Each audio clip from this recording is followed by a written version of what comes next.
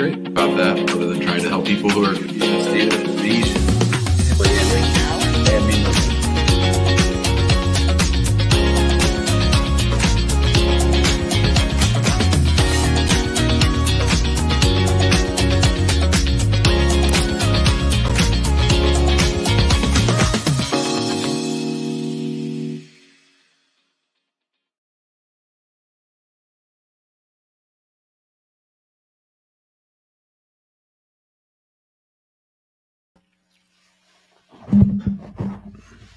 Welcome back to the Immigration Answers Show. My name is Jim Hacking.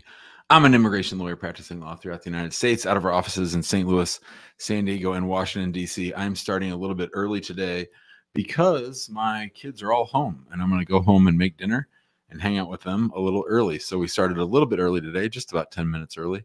We'll be here for the next hour trying to answer all of your immigration law related questions. How's everybody doing? Happy Tuesday. Happy Tuesday. Happy November 21st. Nine days left in the month of November. I hope you all are doing well. I hope everybody's having a good day. Let us know where you're watching from. We see we have friends in Tampa and Oklahoma and Baltimore, Virginia. Tony's here. Felicia's here, visiting from Orlando for the first time. Thank you for leaving us a comment. Yu Yin, Yu, Yu Yin is watching in Arlington. Um, and Vino's in Houston. Oh, there's old Vino. We see Vino all the time. Vino's been on many times on the show. Raphael wishes all a happy Tuesday. My friend Huli's here. She'll be monitoring the comments. She'll be posting up little messages for you. She'll she'll give you the link throughout the show, letting you know where um, you need to go to get in the waiting room to ask me a question.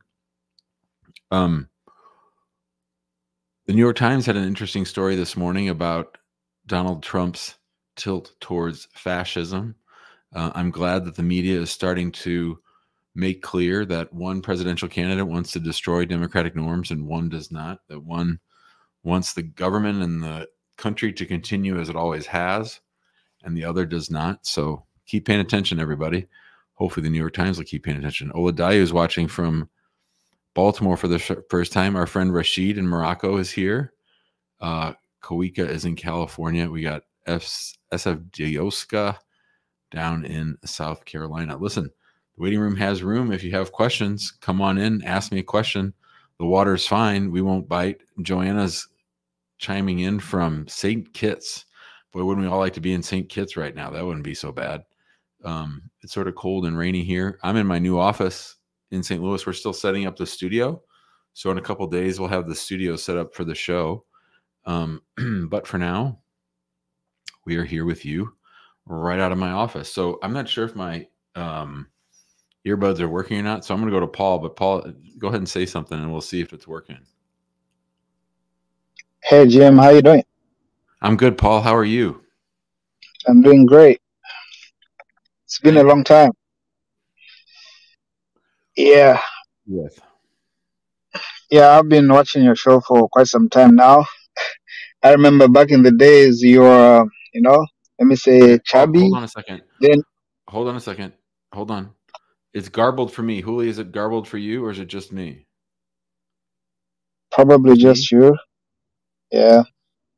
Hold I can hear you your, loud your audio is garbled. Oh, okay. Come back to Paul. We'll we'll try it. We'll we'll try Paul back in a minute. Let's uh let's go to Vino. Vino, how are you? Hey Jim, I'm good. How are you? Oh man, I don't know what's going on with the audio. Hold on a second. You can hear Vino okay, Huli?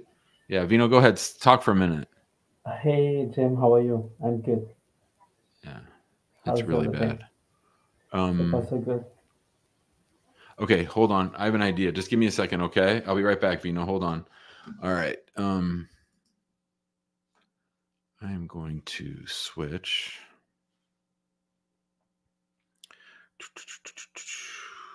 Settings.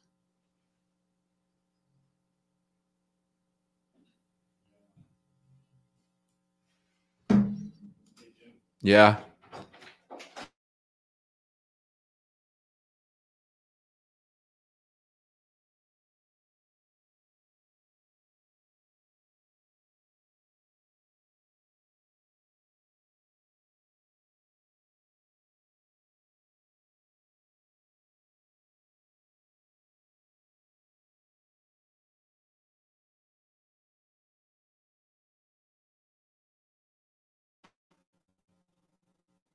So here I am. Vino got disconnected. Julio, let's want to practice Are you there? Oh man, this sucks.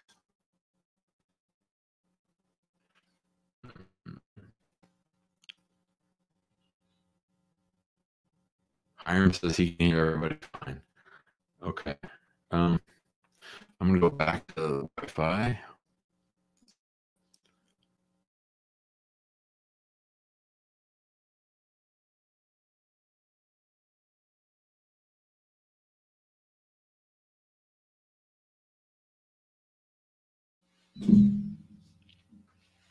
Can you hear me well?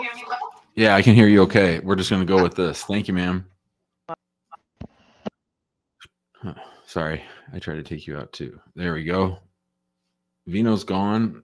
Mike is here. Hello, Mike.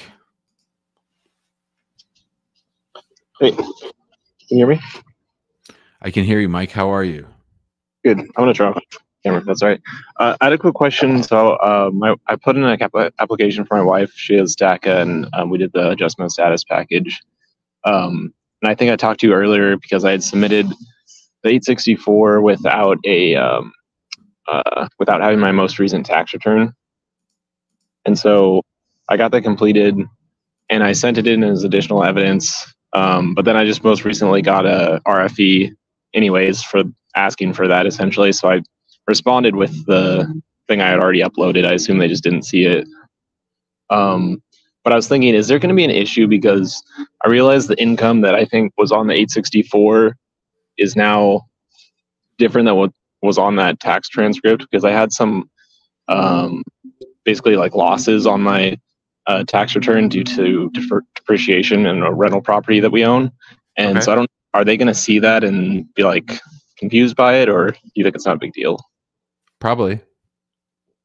So what, is there anything I should be doing like uploading another 864 form or just wait until they ask about it or? I think for something like that, I would go ahead and issue a and, and prepare a new i864 and upload it. Okay. Okay. I'll do that. Thank you. Bye, Mike. Good luck, buddy. Thanks. All right, that was Mike. Um, my audio is still not great, but if you guys can hear, I can suffer through. Let's go to BG. Hello, BG. Hi, Jim. Can you hear me? Uh yeah, I can. How you doing? Hi, good. I actually, you called on me last night right before you were ending the show, and I had just canceled out of the waiting room. I couldn't believe it. But um, thanks for doing these shows, by the way. I just have a Sure. question regarding priority date. We have an I 130, me and my husband, that was approved. And the priority date is May 1st, 2022. So now what do I do with that? Because I've been trying to look at like the visa bulletin. Well, let's talk about it. What kind of case is it? Who is the petitioner? So I'm the citizen, and my husband um, is, you know, he's, I, I guess, is he the petitioner? So you're married to a U.S. citizen. No, no, I'm the citizen. You're you're the citizen, and you're and your and your spouse is where overseas or in the United States. No, he's here. He entered, he entered many years ago um, without inspection. Okay. So if you're married to a U.S. citizen, then the priority date doesn't apply to. I mean, it does apply, but the the visa bulletin doesn't apply to you. The visa bulletin does not deal with immediate relatives, which are the spouses, children, and adults of U.S. citizens. What adult are the parents, spouses, and underage children of U.S. citizens? What are you trying to figure out? Why why are you asking about the date?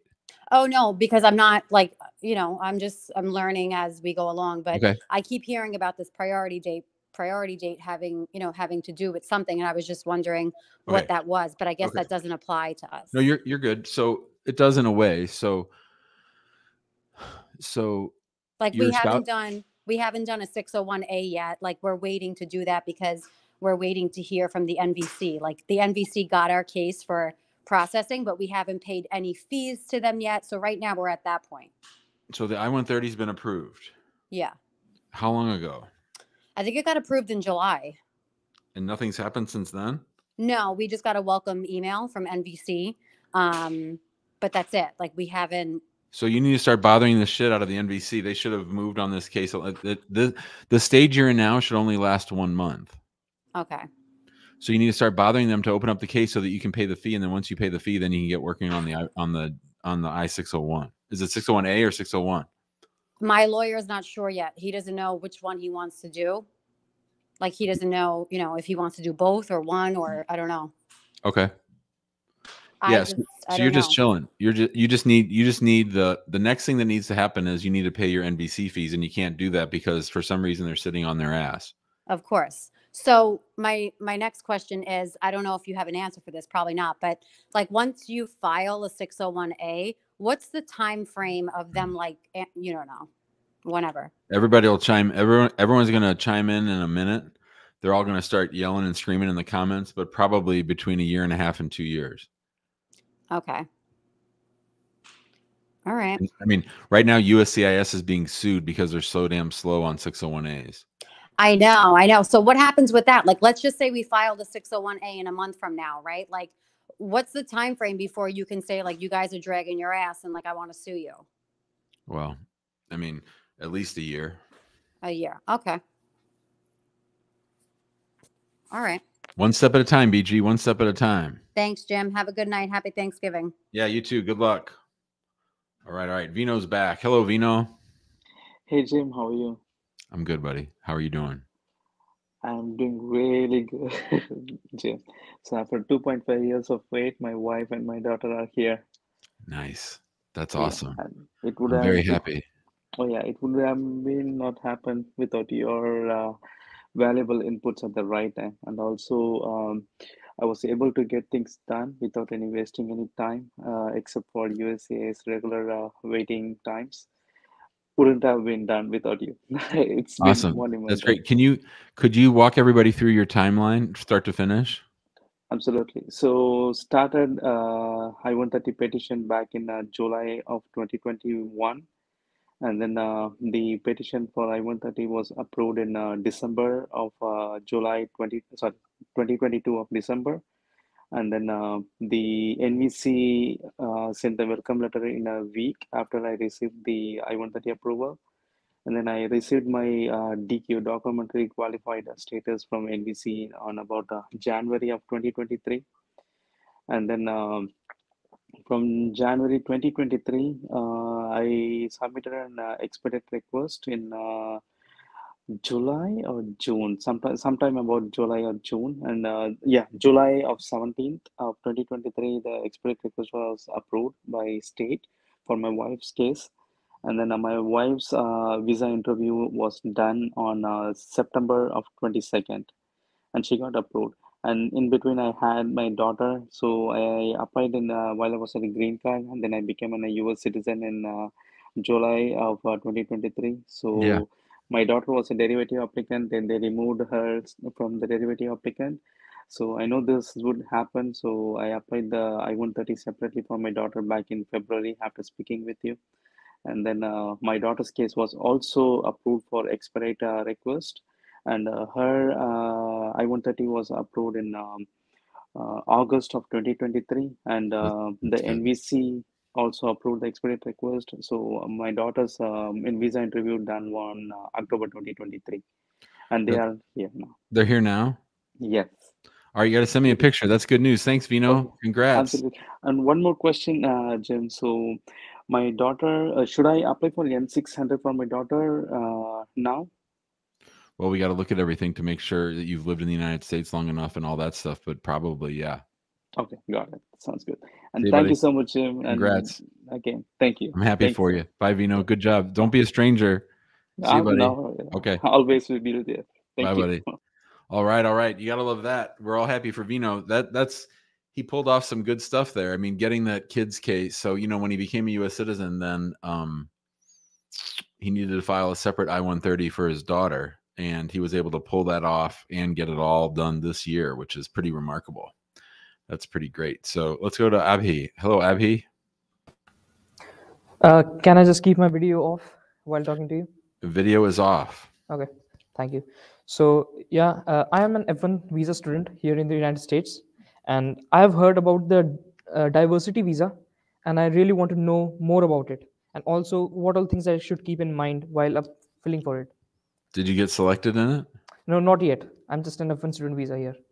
What country are you from? I'm from India. From where? India.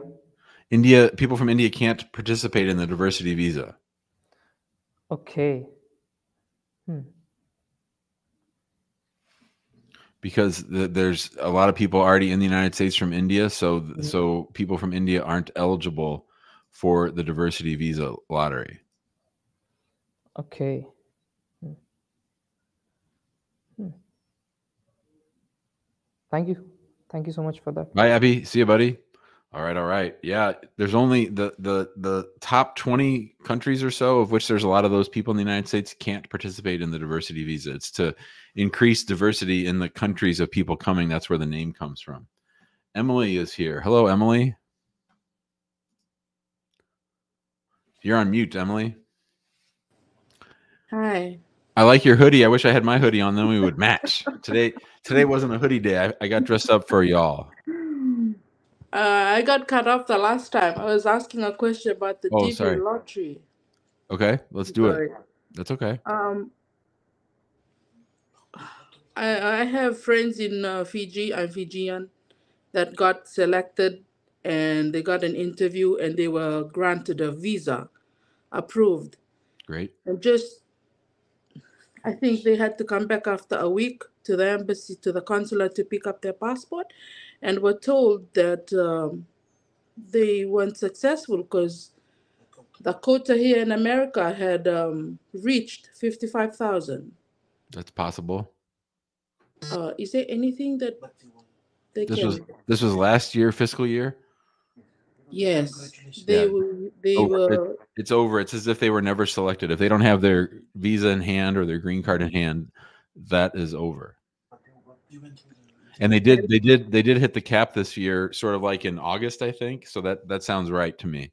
Yeah, I mean, they. they doesn't had the- sound doesn't f- sound happy, but that sounds correct. right. Is there anything that they can do? Just Uh, keep if we- keep applying.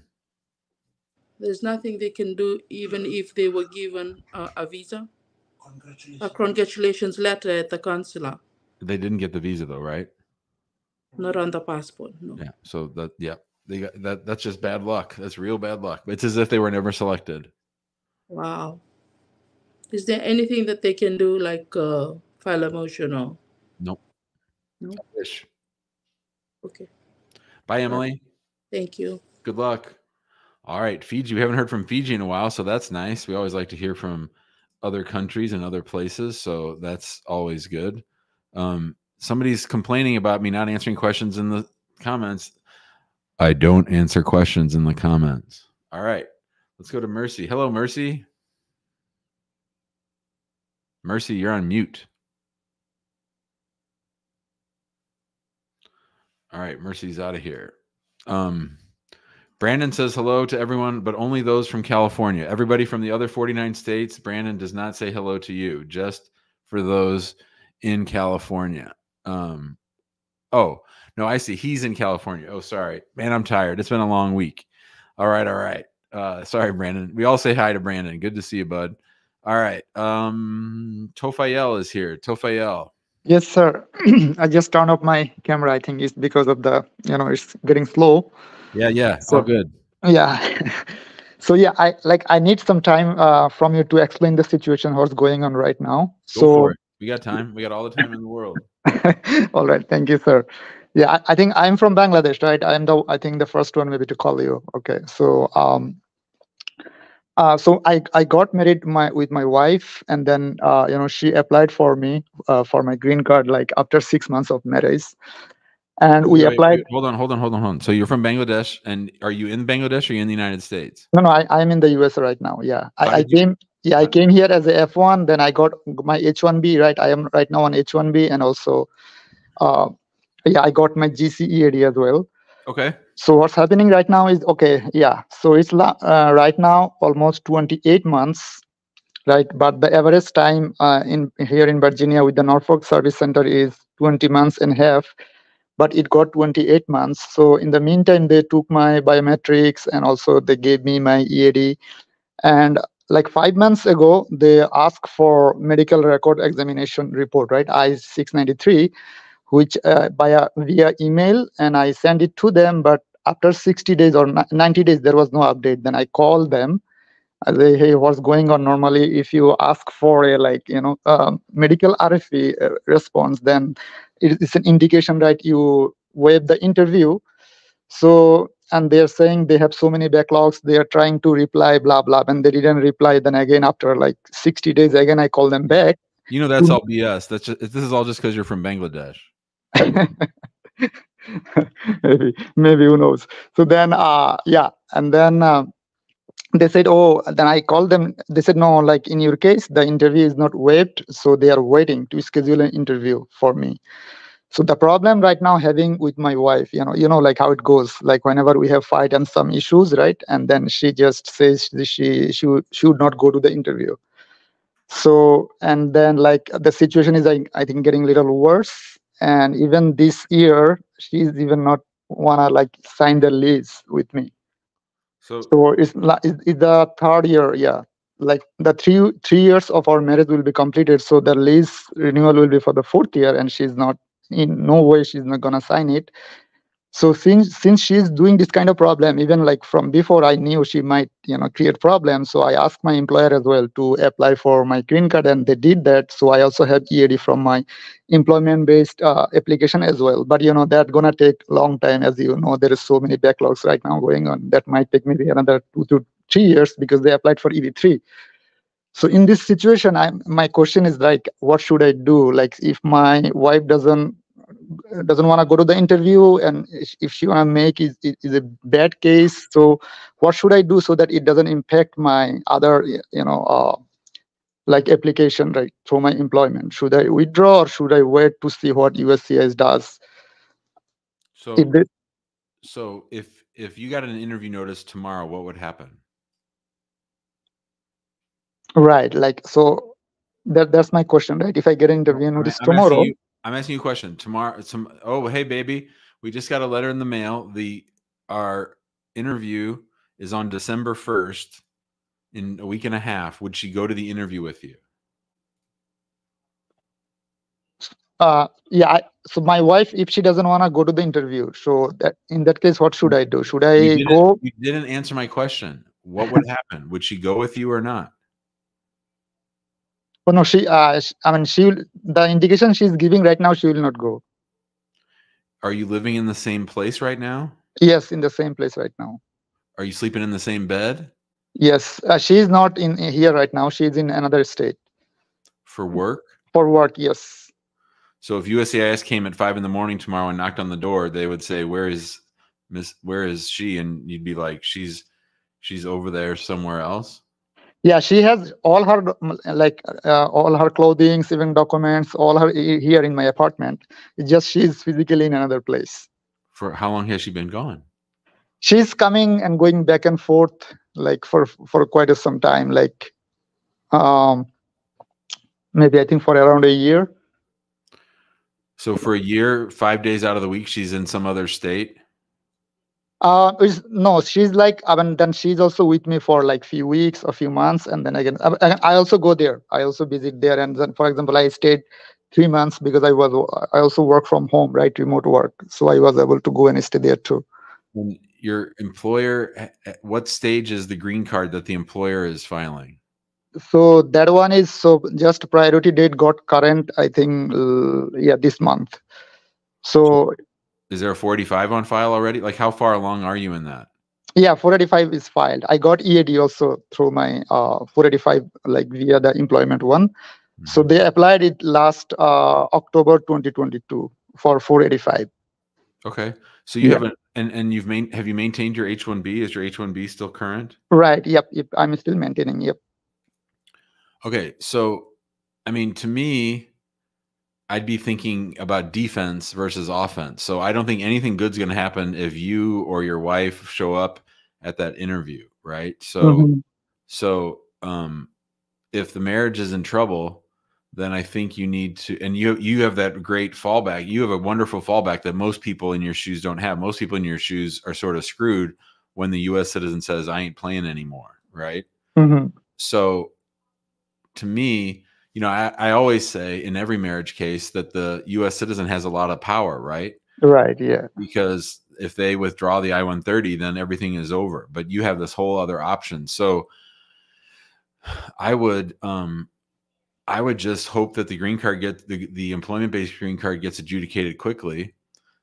Um, I will say that I think they screw around with men from Bangladesh, both on employment and on family. But I think you're much more likely to get the green card faster on the employment route. So if if something happens on the marriage case, I would Mhm. probably call our office and say, Jim, I need you to help me withdraw that I 130 and Mhm. then and then focus on the focus on the I 140 with your employer.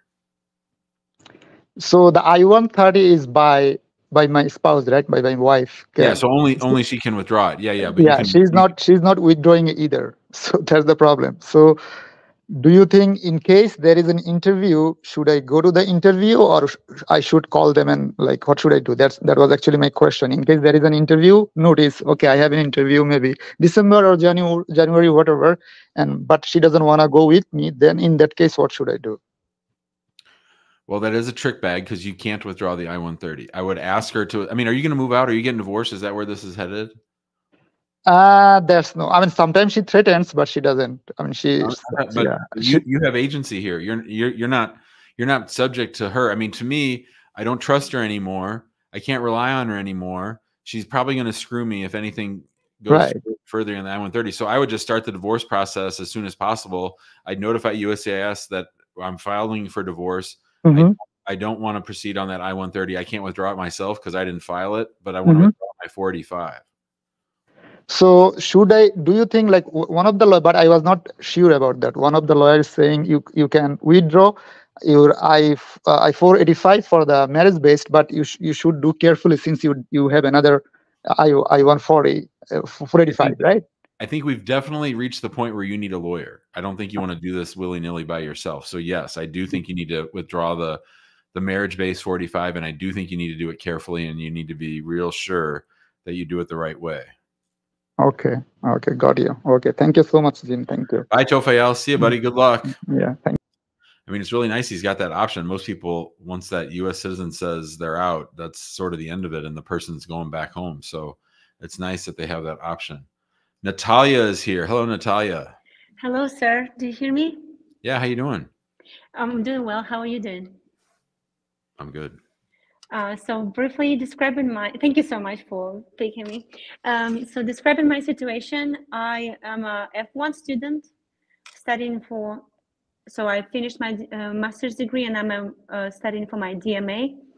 I recently got married this summer with uh, the guy from Louisiana. So we are filing together the documents now. A U.S. I citizen? You married a U.S. citizen? Yes, sir. Okay. Great. So yeah, thank you. Um, and we are filing the documents, and in I four eight five form, part eight, question twenty four A, there's a question about if you ever have been uh, a J exchange non-immigrant visitor, Mhm. if you have been a subject of the two-year Home um, resident, home residency. Home residence, yes. Thank you, sir. Yes, so I was a J1 in 2017. I came for four months. I worked three months and I traveled like a three months and a half, and I traveled for two weeks. And then I came back to Moldova, to Russia. Actually, I was studying in Russia at that time. So, um, what should I answer? Was I? Do you have your old passport? No, I already renewed it. Do you have a scanned copy of your old visa?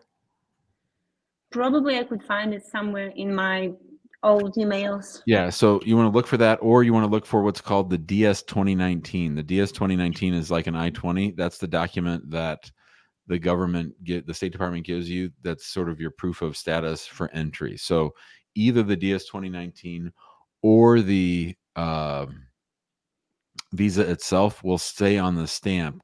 Bearer is subject to Rule 212E or bearer is not subject to Rule 212E. The, the kind of visa that you had, the kind of J1 that you had, it sounds like you were not subject. So I don't think you need to be terribly worried about it. Um, the other thing is, have you lived outside the United States for two years after you came on that J1? Or have you lived at home? Uh, yeah. Yes, sir. So that might be a whole other route, but it doesn't sound like you're subject to it. So just track it down and then and then it should say on the DS 2019 it'll say in the bottom left hand corner or on the visa it'll say the bottom right hand corner. Just look there. It probably if you just came for work and travel like to at a hotel or something or a nanny or something, then you probably weren't subject to it. So you should be fine, but you just need proof of it. Oh, thank you so much. And few, eh, can I ask one more question? Yeah, and I want to say one other thing. If you can't find your old visa and you can't find your DS 2019, you could reach out to the organization that issued your DS 2019, the agency that you came through. They might have a copy of it. That's that's great. Yeah. Uh, that's really great. Is is the I ninety four form? Ha- uh, I saw it has my entries, and one of the entries was two Yeah, that probably won't have it. Okay. And uh, thank you so much. And Sure. another question Mhm. uh, is that I came here as an F1 student. I Mhm. studied in Louisiana, graduated that, and my visa expired on May 13, but I already was accepted to another university Mhm. uh, for my DMA, and Your, I got vi- my. your, your visa expires or your I 20 expires? Uh, I don't know. I uh, so. mm, So remember, remember for F1s, your visa is your ticket into the United States. You just have to enter the United States before the expiration date. But once you're here, you're admitted what's called D slash S for duration of status. So as long as you always have updated I 20s and you're switching from one school to another, as long as you don't have a gap and make sure that the new school issues you a DS, um, I'm sorry, not, uh, issues you a I 20 that'll carry you over and you can stay well past May and plus you're married to a US citizen. So a lot of different Mhm. reasons why you don't need to worry about it. You just need to make sure that you get an updated I-20 when you switch schools. Yes, they updated my I-20. I'm saying like when it was expired, as I thought the visa in the passport is expired on May 15, and then I had 60 days grace period, No. and then I got my new I-20 in the end Oh. of June. Okay. So it Okay. was, I don't know when it was the I-20 expired, but they issued me a new one, so they renewed my SEVIS information, I guess. So you need to find out from your new school or your old school when they terminated your SEVIS record and whether you have coverage or not. Whether there was a gap. If they But from coverage from the university. whichever one has the information, you have to check. I mean, The new school might have be able to access it, or you might need to go back to the old school and figure out when they terminated your SEVIS record. This will this will all be forgiven because you're married to a U.S. citizen. If there was a gap, it's okay. Um, But you just got to nail it all down. Because Yeah, we got married. uh, sorry, go ahead. Sorry. I was gonna say because there's some questions on the 45 about have you ever violated the terms of your status? Have you ever overstayed a visa? That kind of stuff. So you, you want to make sure you get that stuff right. Yes, that's that's very important. Uh, and I actually was working as a CPT student in a music school, and whenever my university year finished, they asked me to like give some more lessons, like once, twice a week, because they didn't have other teacher. So I was keeping coming there. So technically, I think it was not right if my visa. So Um, probably probably was a violation of your F1. So you want to admit all that because again, it'll all be forgiven because you're married to a U.S. citizen. But if you lie, lie about it or misrepresent, then you, they could deny you your green card for that. So don't do that. So I tell all the truth. So even So- if I work like yeah so you need month. yeah you need to be real careful with all those questions to make sure you answer them correctly and bring in the right paperwork Thank you so much. Thank you from the all heart. Thank you. bye natalia see ya Bye. Thank you. See you you. got it all right that was natalia now we got asking for a friend hello asking for a Hi, friend Theo Jim. First, how you doing doing well. First, I need to thank you because um, I'm gonna ask for a friend, but for me, I've been following you for a year, and I just got my green card um, following all your instructions and advices. Nice. And it was 68 days. Uh, I I sent all the documents, everything. I told the truth, so it works. It really works. Um, now I'm asking for a friend. So I have a friend. She has been here in the states. She has been here in the states with. Um, he came in with K3 visa, and um, she was married before, so I understand that why she she got that visa. But when she got here, the person that petitioned her um, divorced. Her. No, sorry, abandoned her. So when came when the time came to um, apply for everything, she didn't get through any paper. So she was abandoned, and that's it. That's the last thing that immigration-wise she did. Um, that was 2004. Uh, she ha- 2004 2004. Then she met another person, also a, a- a citizen, and they got a, a child together. Um, they didn't get married, of course, because she was married back home. Um, but now she's with her actual partner, a, a great guy. They have a baby together at seven years old. He has special needs, but now they don't know how to proceed, and they have been asking around, and she's kind of scared. She she knows she might get deported, and so she doesn't want to even ask about her information or her file. So my question would be, what way she has out that's one to to clear her situation. If it's marriage if it's uh, her son that's now is 16 becoming a, uh, mm, getting 21 years old or something and if you could take a case like that.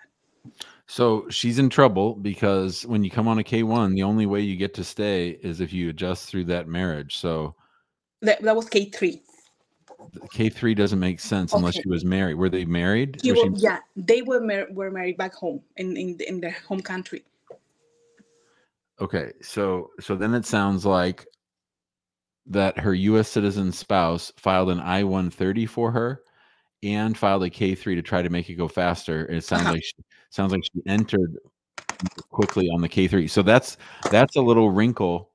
That's a little wrinkle that we might be able to play around with. I don't know because I haven't. uh, uh, I, you know, I've been I've been complaining about people filing K three visas for 10 Uh-huh. years. So this is before. If she did that in two thousand four, Yeah. that was before I even practiced immigration law. So I'd be happy to talk to her and look everything over. She just needs to email me with her documents and we can talk about it. But it's it's a tough case. i know yeah and and i'm really scared and and Yeah, and i know she she's is smart. She's smart to be careful. So um, even even with the U.S. citizen kid, I don't know. Um, she's probably going to need some kind of waiver or something. But it's it's it's a mess.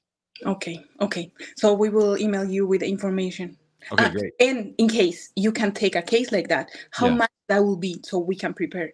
You're talking. This is going to be this is going to be a multi-year effort. You're talking ten to fifteen thousand dollars over time. It's gonna. It's not going to be cheap. Okay, and how long that something like that could take? I don't know. That's the least of our concerns right now. It would take years. Okay, okay, okay. Thank Thanks you so much. Congrats on your green card. I'm Thank happy for you. you. Yeah, for sure. Thanks for the call. See ya. you. All right, all right. Let's go over to uh, Aman. Hi, Aman. Oh, how you doing, sir? Good, buddy. How you doing?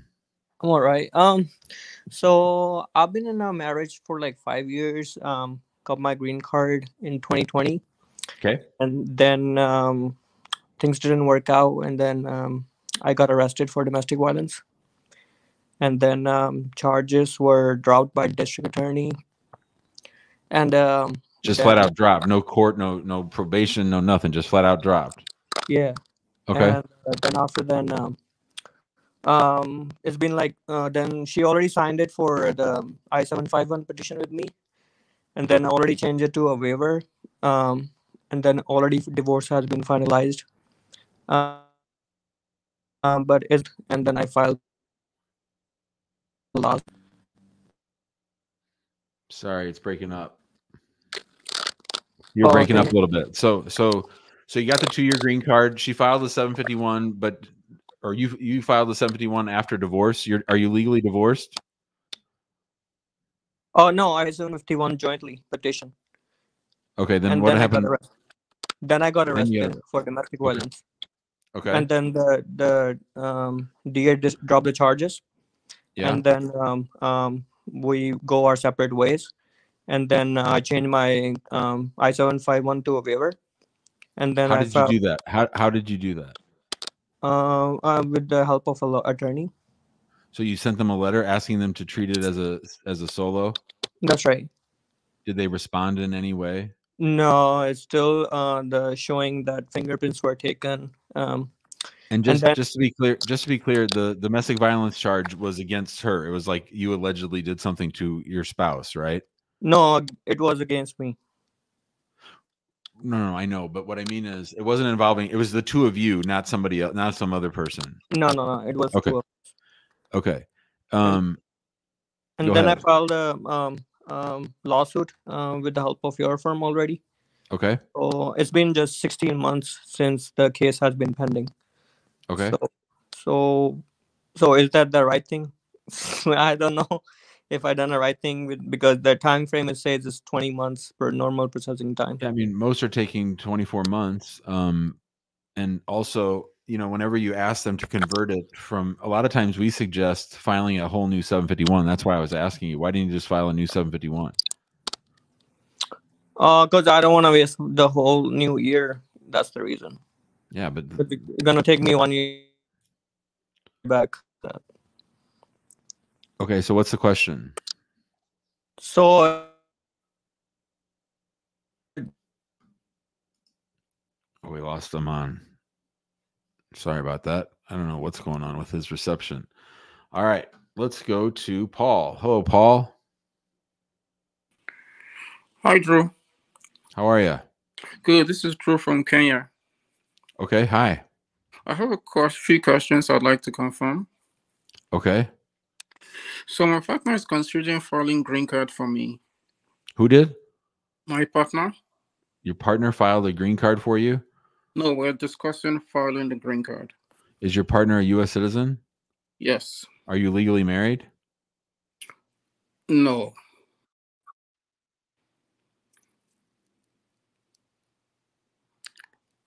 I lost your audio.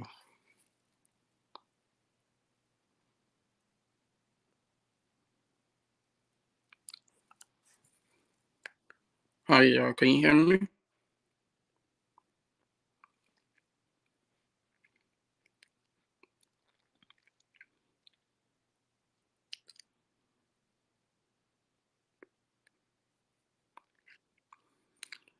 Uh, still no audio. How's that? Can you hear me now? Yes. Sorry about that. I don't know what if if there weren't if there weren't some technical issues, then it wouldn't be a show. So go ahead. I'm sorry. So so you're not legally married to this person.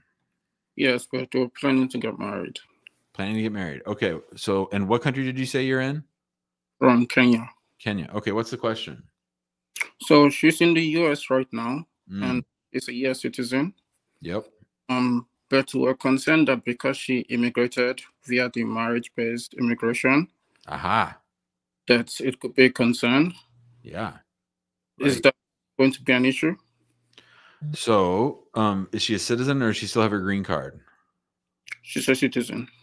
So, so when did when did uh, how did she the person that she married? How did she marry that person? Like the that person was in the United States and filed an immigrant visa for her, yes, and then she comes to the United States, gets a green card, then she gets a ten year green card, and then she applies for citizenship and gets citizenship. Right? Are you there? What the heck is going on? Can you hear me? yes, Okay. So so she came through the consular process from Kenya correct. and did she apply for citizenship on the 3-year rule or the 5-year rule? Um, I think it's three. I'll have to check. Okay, so in our office we call this a pivot case. So a pivot case is when somebody gets a green card through marriage, then divorces that person and files for a third person. So my big question is did you know her during all that process or did you marry, meet her after she was like divorced or starting to get divorced? I've known her for a long time now, ten years. Yeah, so then they so then USCIS thinks you cooked up this scheme for her to come to the United States, get a green card, and then sponsor you. And so they could go back and attack her original green card. Now she's a citizen, so they're less likely to do that. But I mean, let's let's walk it through this way. When did she become a citizen? Um, she became a citizen in 2022. And when did she file for divorce? Um, I don't know the start date, but it finalized a few months ago. Well, 15 months ago is also No, 2022. no, if, if a few months ago it finalized. A few months ago? Yeah. Okay. So if you're asking me, Jim, do you think this is a hard case? Yes, I think it's a hard case. Jim, do you think it's an approvable case? Yes, I do. Jim, do you think that I'm going to have to prove up not only that my marriage was legit, but that her original marriage to the first US citizen was legit and wasn't just to get an immigration benefit. All those things are true. And I think the embassy in Kenya is going to give you a hard time. And in reality, they're going to be giving her a hard time, but they're going to do it through you. Okay. But would you recommend we move forward? Or Yeah. give time? Yeah, I'd, I would move forward if you're in love and you want to be together. I, I would, I would, but man, it's it's going to be a tough case. You probably need help. Would it be better if we give it some time? Say that again. Would it be better if we give it some time? Yeah, I think so. I think it'd be good to wait to wait a little bit. Yeah. Okay. All right. Thank you, Jim. All right. Good luck. All right. All right.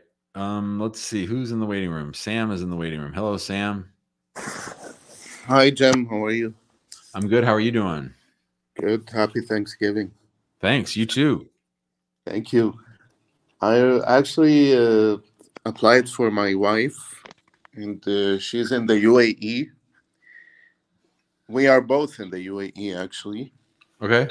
And uh, we have a PD date of September 23 this year. So, what are we looking at? How long is it going to be? You're a U.S. citizen. Yes. So you're probably talking a year at USCIS and then five or six months at the National Benefit Center or National Visa Center, and then probably six to 12 months waiting for an embassy date in. UAE. Okay, actually, I got uh, caught by surprise by the previous caller because I was also married, but that was like long time ago, like ten years. You know, I got divorced. So You mean you got your green card? You got green card through marriage yourself? yes, Yeah, but did you have kids? no, Were you married a long time? it. I got divorced like what, like twelve years ago. So how long were you married, start to finish? Uh, about year and a half. A year and a half. That's that. That doesn't even seem long enough to be able to get a green card. But I guess back then the cases were faster. Yes. So talk to me about that. So so did you adjust status or did you go through the immigrant visa process? No, back I? I was a student and I adjusted status. Okay, so you married a U.S. citizen, and um, how had you finished your studies? How long had you been on an F one? I was on an F one for like seven years. Okay, good. And then you married a U.S. citizen, and she Yes. applied. She applied for a green card for you. and Exactly. I got you- the conditional, Yeah, and then what happened? and then uh, we got divorced, and then I applied solo for the you know ten year So green one. card Yeah, and got- citizenship. and that got approved, and then you waited for the five years for citizenship. Yes, yes. When, when did you become a citizen? 2015. Yeah, so that's eight years ago. So I think you're in a little better shape than our friend who was just on because he's talking about, woohoo, I just got my citizenship. Woohoo, I just got divorced. Woohoo, I'm getting married back in the home country, right? So I think it's a little different. Yes. But always, Okay, some- so- always, always something to think about, and always something to be ready about, especially if wifey number one sent a mean letter to USCIS. That's what you always have to worry about. Yes, and the other thing, my wife, uh, I applied for her for a visit visa like Mhm. seven months ago, and she got rejected. Of course you she did. Yeah. Yeah. Um, you might, since you're waiting, you might go ahead and do a FOIA on your old immigration file just to see if there's anything bad in there. It's free. Okay. Yeah. Yeah, and I can do it through USCIS, right? Yep. G639. Yep. Yep. Okay, and the other question, uh, could we shift embassy or we have to do it through? UAE? Um, well, you know, eventually the case is going to be pointing to an embassy. If that's where she's living, that's where you're going. Okay. And there is no way to expedite since she is a Syrian citizen? No. No, right? Mm-mm. Okay. All right. Thanks, Thanks, a Sam. lot. See you, buddy. Thank you. Thanks. Yeah. All right. So we got a lot of uh, second second romances today, back to back calls where somebody got their green card based on marriage, became a citizen, and then married someone from the home country, the old country. This does happen. We know that for a fact. So, in any event, my name is Jim Hacking. This is the Immigration Answer Show. We got about 10 minutes left. I'm going to try to bust through as many calls as I can. Um, I hope you all are having a good day. And I hope if you haven't already that you introduce yourself in the comments. Let us know where you're watching from. Tomorrow's show is going to be a little bit early. What time we start tomorrow? I think one o'clock central, one o'clock central again. So I can take off a little bit early and hang out with the kids. I got to deep fry a turkey on Thanksgiving, so that'll be fun. I um I did a 14 pound beef beef brisket on Sunday. I forgot to show it to you guys when I was done with that show because we got that crazy call from Benson. So all that being said, let's say hi to Mercy. Hi, Mercy. Hi, How are you? how are you? I'm good, thanks. What's good, up? good, good. Can you hear me? I hear you just fine. Thank you. Yeah. Oh, okay, okay. I have a question, and it's like yesterday, yesterday around 12 o'clock, I was there and I had a call, and the person says uh, she's calling from USCIS and she wants to ask me one or two questions. So I was like, oh my God, okay. So I was at work and I said, okay, let me just tell them to be like I'm going somewhere so that I can listen to what he has for me. So he said, um, he's asking me why is, uh, right now I'm working in New York, but my husband is in Philly. So it's like I've been going back and forth. Okay, but So hold on. Hold on. Is that is is that, uh, that my husband? hold on? Is that something that they knew before yesterday? Or is that something they found out yesterday after they came looking for you? I don't really know. I don't really know because I just got my uh, EAD after I went for my interview. After I went for my interview, that they sent me my uh, working authorization. So after that, I have to look for a job and do. So I guess what I mean is I don't what really I know what I mean happened. is So they, what I mean is on your paperwork, did you list your address as if the two of you were living together? Yes, I list the address. I list Okay. the address. So you get yes. so someone calls yesterday says I'm USCIS and we have some questions for you. They want to know where you are. Yes. Yes. Okay. Yes. Did they say they came to your house today and you weren't And I there? said, right now, no, they didn't say anything. They didn't say that. They didn't say anything. And said, uh, where are you now? And I said, I'm working. I'm working in New York. I told them I'm working in New York. And the guy was saying, oh, okay. Uh, we saw your husband and we asked him to withdraw the uh, I-130. And I was like, how? And the guy was just talking. It, it- was a whole lot. So I was that time I was just like I was crazy because the way he was sounding, I was at work and I was just crazy. I said, okay, okay. And she just hung the phone. He hung the phone. So after that, I called my husband and he said, I wanted to call you right now. And I said, what happened? And he said uh, he was on his way going to work and two guys came after him and they were intimidating him and saying a lot of things and they let him sign a paper. And I was like, they let you sign a paper and said, oh, okay, okay. And I said, like I immediately called my lawyer and my lawyer said, oh, let's wait till the letter that they said they will send comes because right now we don't know what they are up for. So, so I've been checking my USCIS account and I don't find anything there still. They said the, the case is being reviewed, reviewed. So I don't know. So it sounds like they scared your husband into by saying he's engaged in marriage fraud. They were going to throw him in jail unless he withdrew the I-130. So he signed he mm, signed yeah, a piece of was paper. that was Yeah. that was what he said. He said he was afraid. That, he said the guy said he want he will he will gun him down, he will gun him down and other things, and Did you say gun? the way the guy was talking gun to him? him. Gun him down? Is that what you said? That was yeah that yeah that was what the guys that was what my husband told me. He said the guy said he will gun him down if you don't tell him the the truth. I said what truth? And he said he was panicking. And he said he, he gave me a paper to sign. Sign it here. And the, he said he signed. He said he, he was with back and forth like over, over 30 minutes before Which he field? even Which, be like, it- I, I, is I don't want to sign anything. Is this Philly? Is that what you're saying? Philadelphia? Philly, Philadelphia, yes, Philadelphia. Okay, so what's your question for me, Mercy? I'm sorry this happened. Yeah, so right now I'm, I'm I'm- I don't know, I don't know, I don't know. So right now that he has he has signed that form, so what's my next? What's next? So if maybe they send, I, I don't know. I don't really know right now. I don't know.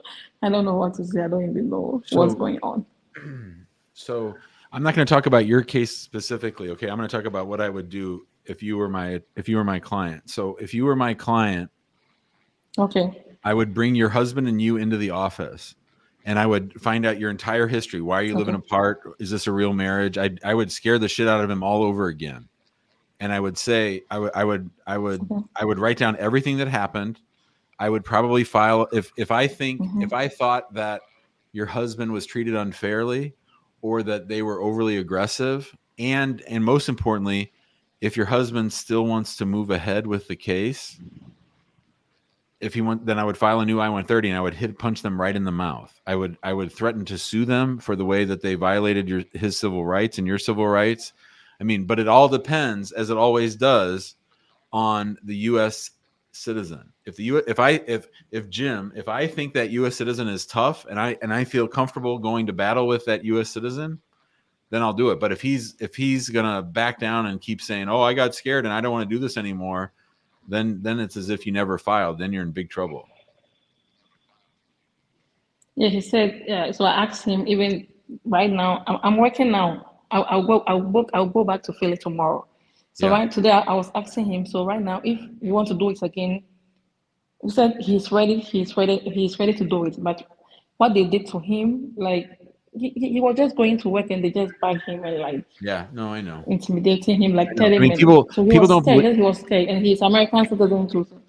People don't believe me when I say way that the way the guy went. say that again mm. She said uh, the way the way they were talking, he was scared. Like they were intimidating him, shouting at him, like. And Yeah. he said, "Oh, okay, okay. Where is the paper?" He said, "I will not sign. So you have to sign, sign and withdraw that uh, uh, case." So I was there. They called me. The guy called me like thirty minutes. Those people that they went, they called me. I, I'm even surprised that they called. I no, that's their playbook. That, that's totally their And I playbook. I, mean, there were there were there were people commenting on your post saying this sounds like uh uh it wasn't really USCIS. This is exactly Yes, what yes, I- this, is I- I- ex- yes. this is exactly what Yes. USCIS does. This is this is their playbook. Yeah. Okay. Well, Yeah, here's the thing, me Mercy. They were, If you they want, asking me the type of visa. you know? yeah. If you want, if you want me to talk to you and your husband tomorrow, I can. I can talk to the both of you tomorrow. But i, I want the two of you mm-hmm. together in the same room. I want the two of you together in the same room because I want to observe how you act with each other, and I want to yell uh-huh. at him and scare the crap out of him. He, he he just I know I know I know him I know him even the day that we went for the interview you know he, he I know so when, when they scared him I know he he I'm sorry. I I'm know sorry. Yeah, just just he was just send me an email, mm-hmm. Mercy, if you want us to talk tomorrow or or next week. Okay. yes yes so that's that's your email right Yeah. Info at on the screen yep. Info at hackingimmigrationlaw.com. okay let me take the picture okay because Thanks, some people were saying I should talk to you when I Yeah. put it on on, on lawful lawful they said I should talk to you I should talk to you Yeah. He's the best for this but case so I want he, to just he's the star witness. He's the star witness. If he if he's ready to fight, we can fight. If he won't fight, we're screwed. Oh my God. Okay. Okay. Thanks, Okay. Mercy. Okay, bye. See ya. So right now, right now that they haven't sent any letter, we should wait, right? No, you need to you need to go fast. You need to go fast and file a new application. I think, and you need. But we, it all depends what he's going to say. I want to hear everything that happened, and I don't want to talk about it all on camera. I want to hear everything from him. Okay. Okay. Okay. Okay. Okay. Okay. Bye, Okay, Mercy. okay. See Thank ya. you. Okay, bye. All right. I think we got time for one more. Let's go to Alisar. Alisar, how are you? I'm good. How are you? Great. What's up? I have a question about I uh, I have a VAWA in process. Okay. Uh, the VAWA is just me, and I was wondering what how can I go about adding a child under 18 to it that is overseas, and have them join me. I sent in an an amendment to the 360 I 360, and it's they sent it back. I sent an amendment to the pending I 485 and they sent that back. I don't know the answer to your question. I don't know the answer, but I can figure it out. If you email me, um, we can check tomorrow, and I I can do some check. I can have the intern um, check it out, I just don't know the answer to that. I, I don't do a ton of 360s myself. I don't know that you can add them, but we can try. I thought we'd be able to amend the petition because she has been named but has not been requested to join. As her dad, her dad and my ex husband did not get along. Her dad actually had bad feelings about this guy, and turns out he was right. Hmm. Yeah. Yeah, just send me an email and I'll um we'll I'll kick it around with the team tomorrow. They'll they'll be able to tell me one way or the other. I just don't know. Thank you. Thank you so much. You got it. Bye, Alice Garcia. All right, all right. That'll do it for today's show. Um, need a lawyer and everybody else in the waiting room, go ahead and um, come back tomorrow. We'll be back at one o'clock. Need a lawyer? I'll try to get on you first in the morning, or you can always email us info at. Uh, thanks, everybody. If you're not on our uh, text line, you should be 314 470 3300. Uh, text the word show. Now, listen. You don't need me to tell you guys anything, right? You heard it straight from the horse's mouth. If you're on Reddit, she posted on Reddit. If you saw an immigrant home, she posted on immigrant home. So this is what happened to that lady. Do I know whether the marriage is legit? No, I don't know. Sounds like they're living apart. That's always tough. But that that list of occurrences, the way that everything happened, that's how they do it.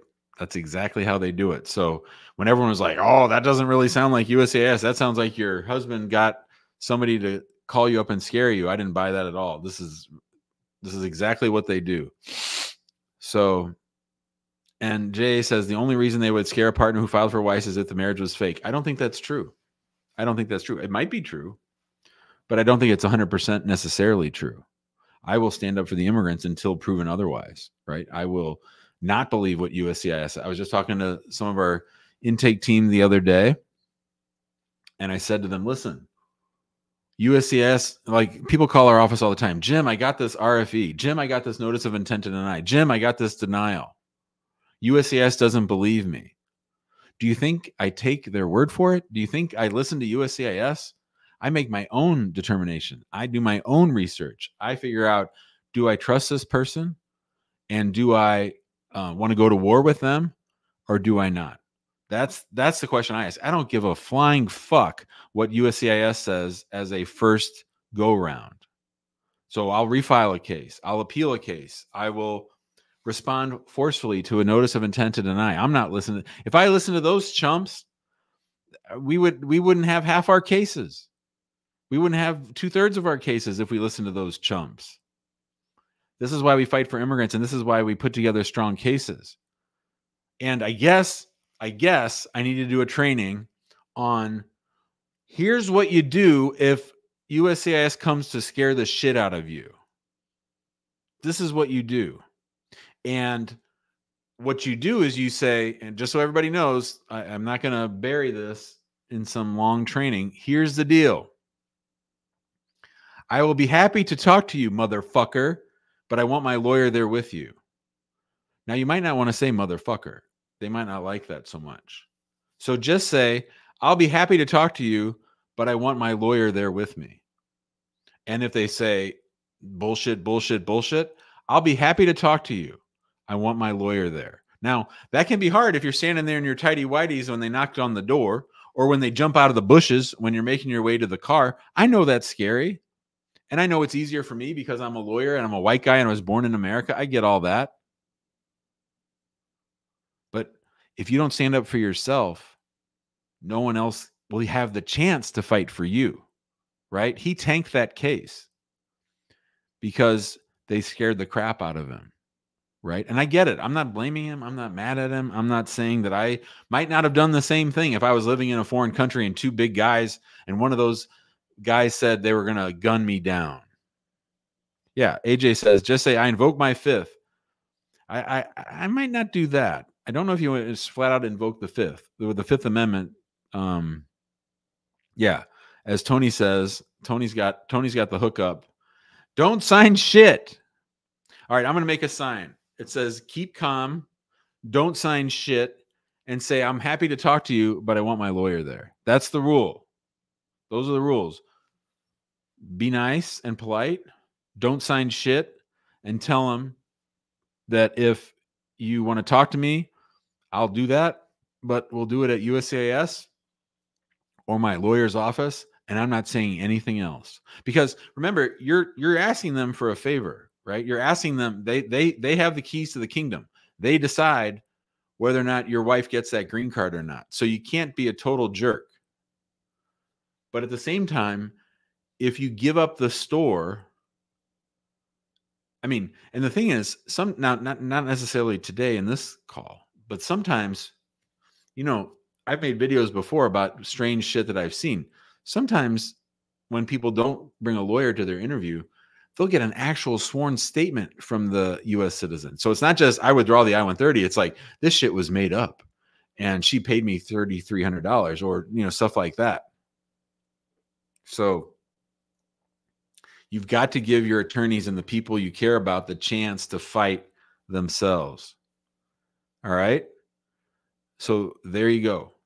There you go. That's all I got for today. I hope you all I think this was a good little uh a good little primer and we'll probably do some more training on this. Maybe we'll just practice with people. I'll just I'll just try to scare people and say we're going to gun you down if you don't sign this shit. Uh all right. That'll do it everybody. Uh if I don't see you tomorrow, I hope I do, but tomorrow we'll be doing the show at one o'clock, one o'clock central. Have a good night.